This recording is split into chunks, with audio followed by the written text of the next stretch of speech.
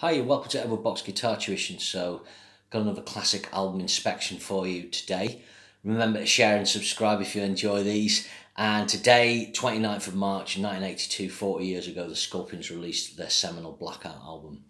So this is a key album in the Scorpions catalogue and for some people their best, or certainly the best of the Matthias Jabs era. Um, so where the Scorpions at at this point? So they've had two albums that will eventually go gold with the Love Drive and the Animal Magnetism album in America. They're popular in parts of Europe, but they haven't kind of gone what I call over the top yet. But they will do so. This album it would be declared platinum in 1984. Incidentally, um, Screaming for Vengeance is de declared platinum in 83. Blackout 84, Number the Beast finally in 86. So those three 82 albums all going platinum uh, and being you know true sort of metal hard rock classics as well. But um, so basically, uh, the gap between this and Animal Magnetism is two years. Uh, and the principal reason for that is, is Klaus Meine had nodules on his vocal cords, I think, or some kind of vocal situation. He had to have surgery, and it was pretty serious. So, in actual fact, I think Don Dokken did some of the demos for this because he knew Dieter Dierks. I suppose at this point as well, maybe we were feeling things out in case Klaus couldn't do it, but Rudy said basically, look, you know, we're waiting for Klaus. So this is quite a dangerous move uh, for Scorpions. That's a long time between albums. Um, back then, bands did albums every year without fail. If a band put out an album in March 1980, you'd get the next one in February, March 81. Sometimes they did two albums in a year. Saxon did 1980, for example. Um, but it probably gives them a bit of breathing space to craft the songs, uh, and I think um, it probably gives Matthias Jabs as well more time to integrate and get his guitar style together that have been developing. So he'd done some solos on Love Drive, but hadn't really made an impact because Michael Schenker had done some of that. Animal Magnetism, he stepped up more with a, two or three really great lead breaks. But he comes of age with this album and earns his stripes as the German Van Halen. Uh, so what's the production like? It's recorded at Villa San Pecan, I think, Pecan, Saint Jacques Glach in France hopefully I pronounced it all that all right. So they've obviously taken the mobile studio, Dieter Dierks's mobile studio there to do that. Uh, and then they've gone to the Dierks studio in Stromheim, Stromheim in uh, West Germany to finish off. What's the sound of this album like? It's typical Scorpions. It's got very brassy, trebly guitars, um, which is uh, the sort of typical Scorpion sound. They don't, um, you know, they don't have that kind of warmth that uh, say ACDC have, or the bottom end of Judas Priest. Um, so like that means there's more space for slightly fatter bottom end and more bishy drums, as it were. Uh, so the album opens with Blackout. Uh, and he sets out his story really quick with this. Um, he's got a great vocal by Klaus. Um, you can see his voice is restored, and he's doing still doing some of those kind of screams he was doing back on the Virgin Killer and Taken by Force album. Uh, this is where you notice Matthias Jabs what he's kind of decided to do. I think it was Jeff Waters who was reading the Book of Annihilator said Matthias Jabs basically solos all the way through on his side of the speakers, and that's the genius thing. And yeah, what he's really doing, he's kind of playing a rhythm slash lead part and then breaking into fills as well. And it's most prevalent on this track. If you the, the other thing with the Scorpions, a trademark is they have real trademark. Sorry, is they have a really hard left and right panning. So you know if you go over to Rudolf Schenker's side of the stereo spectrum, you'll have trouble hearing Matthias, and vice versa. But if you want to hear the individual passes really carefully, just turn your stereo, um, you know, to left or right. But Matthias, yeah, so he's he he blazes through with kind of lots of licks and fills, and he's a scorching solo. Um, uh, it's got a really cool ending. This track it kind of builds up into a frenzy. If I've got a criticism and I haven't really picked up on it before because with the Scorpions I've always focused more on the melodies and the guitar is Rudolf Herman Rarebell's drums are very perfunctory. I think of every classic metal hard rock band, I think he is. I, mean, I don't dislike the guy. Um, he's Herman Rarebell. He's written a lot of lyrics and a lot for the Scorpions, but his drums are kind of pretty basic. Um, you know, in a kind of slightly flat way. He's not like, say, Phil Rudd, where he's doing something simple, but just with an amazing feel. You know, there's nothing wrong with his drums. They do the job, they just don't bring anything to the party, you know. Uh, and I think it's like that all the way through the album. His, his drum sounds a little sort of, a little kind of bishy, bit bottomy. But um, you know, he was the drummer in the Scorps for a long time, and they wanted to get a straighter sound. Um, in, in all truth, the Scorpions never really had a definitive drummer. I think um, when they got James Kottak and recently Mikkey Dee, they kind of got guys who are recognised as like really top rock drummers. But anyway, that's sort of digressing on that. The next track's Can't Live Without, Without You. Um, they don't really play this live now. Uh, it was a live staple, but I think it's because singing's so high. But this has got a really cool inversion on the riff, so, um, you know, you would think in guitar speak, you'd think it was kind of like a sus4 uh, type chord to the major chord, um, but it's not. He's kind of playing the minor triad above, like D to A, uh, and it just, um, the, the triads are stacked, I think. Um, uh, well, the two parts are stacked um, across the spectrum, uh, and it just it's just got a kind of unique sound. Great fills on this from Matthias and a really brilliant solo. I once uh, saw like um, a Guitar Heroes profile of Matthias Jabs in uh, Kerrang magazine, and he said this was his favourite solo at that time.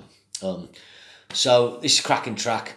Then another classic, uh, probably the, the most classic track off the album, No One Like You, comes in at number three really good. Uh, shows what the Scorpions do well. This track, just simple power chords, turn out, Turn out, you know, um, really breaks down to a lovely melodic verse with Klaus lovely singing uh, and uh, great guitar. Matthias does a really cool solo on this, really tasteful, and shows a great touch.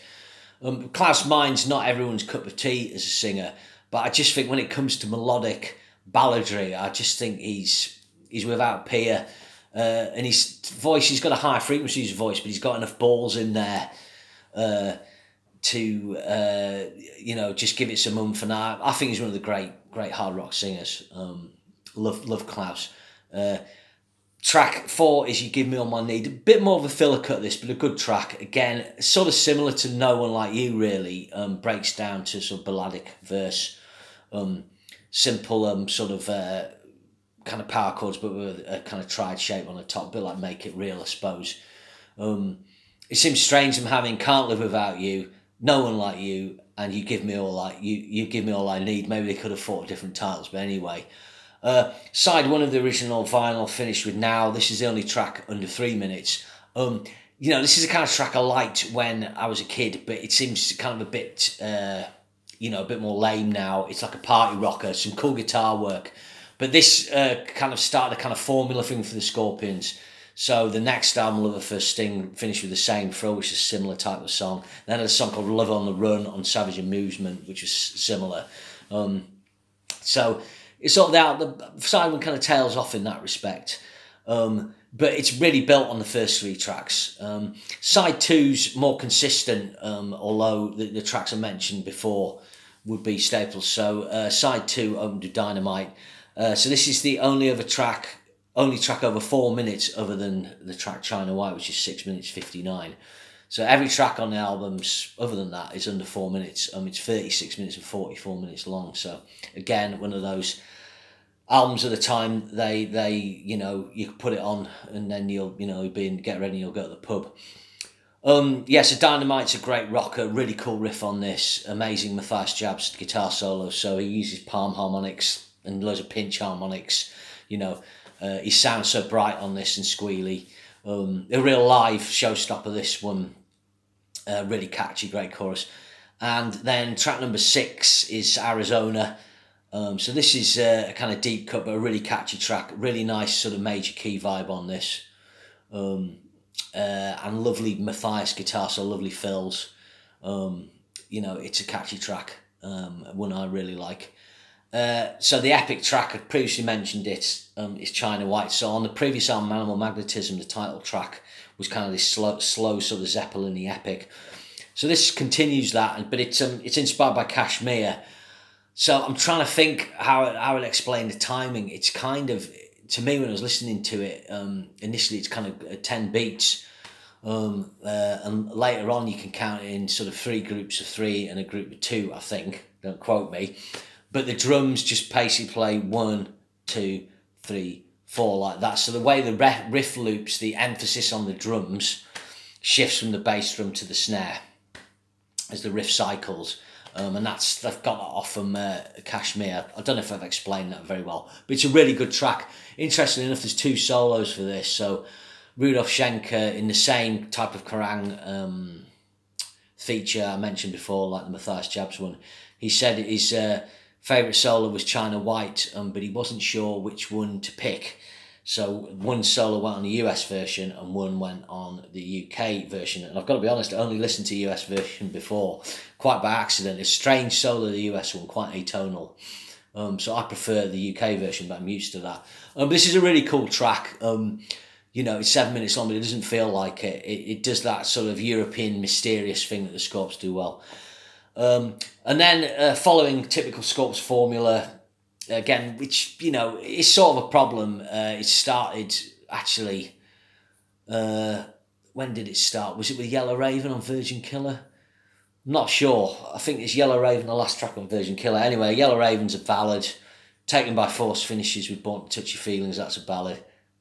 Love Drive finishes with Holiday. Um, that's a ballad. So they broke the mould uh, with the Animal Magnetism album, but they go back to the ballad on this and When the Smoke is Going Down. This is a lovely track. Um, it's got a powerful chorus. Um, it's maybe a track that gets forgotten about in the Scorps ballad uh, tracks because there's that many of them, but it's a really cool track and it finishes the album in nice style. Um, you know, if I was marking this album out of 10, I'd give it 8.5 out of 10. Um, it is a classic record. I think it's it's let down by the track now uh, and you give me all I need is give you give me all I need is a kind of good filler track. Um, but I think it's better than Love at First Sting. As a older get, I like Animal Magnetism more than more, but I think this album's got more consistency and better guitar work from Matthias. But I'd still say Love Drive is uh, the the the go to album of the Matthias era. Even though he he isn't as prevalent on that, the the quality of the songwriting on that is just spot on, and that's one of the great hard rock albums. But Key Year 1982, Screaming for Vengeance, Number of the Beast and Blackout, uh, still albums that have been bought a day. Um, I think that's all you can say about this record, really. Um, you know, uh, it still sounds great today. It's got a clean, punchy production. Uh, it's got all the classic Scorpions hallmarks. Uh, and it's, it's the album that made them the global act they are today. Cheers, thanks very much. See you soon. Bye.